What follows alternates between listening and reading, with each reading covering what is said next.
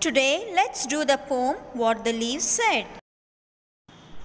In this poem, the poet has used the figure of speech personification, which means giving human characteristics to abstract ideas or non living things.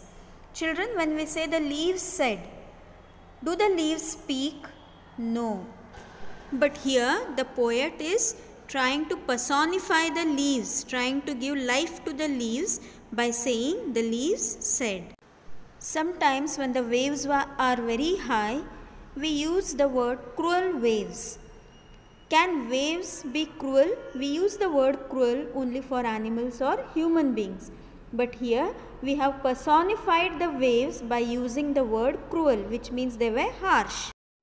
Let's begin the poem. The leaves said, It's spring, and here are we, opening and stretching on every tree. So, children, it's during spring season, which comes between February to April, we see that the trees look so green because they are fully covered with the green leaves. It's neither too hot nor too cold during this season. The weather is very pleasant and it's during this season the leaves are saying we open up and we are stretching. Then comes the summer season during which the birds build their nest. The trees provide shelter. The leaves said, It's summer. Each bird has a nest. We make the shadow where they can rest.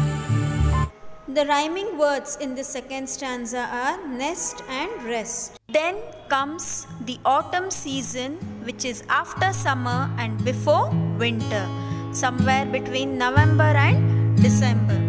Children, it's this season, a season of festivals, where the weather is really mild and pleasant and refreshing.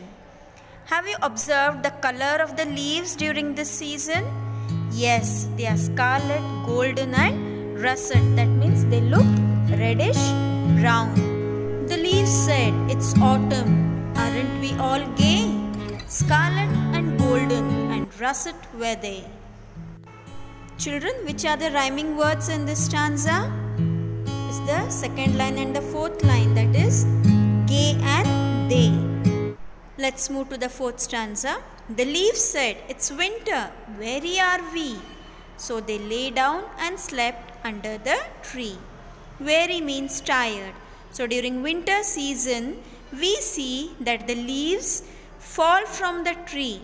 So here the leaves are saying that we are tired. And so they fall down and sleep under the tree.